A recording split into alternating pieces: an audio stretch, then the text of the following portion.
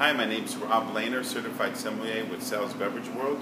Tasting today the Smith and Hook Cabernet from Central Coast, California. It's a 2016 vintage.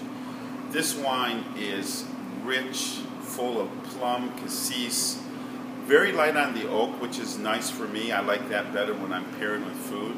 Uh, this wine will go great with your uh, braised meats for the winter time or roasted leg of lamb beef.